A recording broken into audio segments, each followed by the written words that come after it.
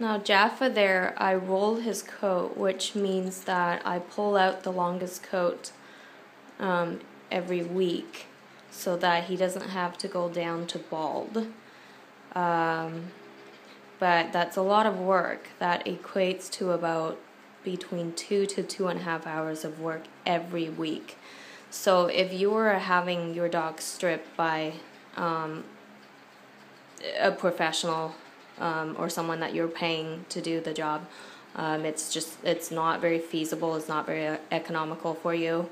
Um, so this is why my clients that choose the stripping option, um, they do the pet strip where they bring the dog to me when the coat is completely blown, and I take the dog all the way down to skin, and um, and it takes about six to eight weeks for that top coat to come in, and the dog will look his best.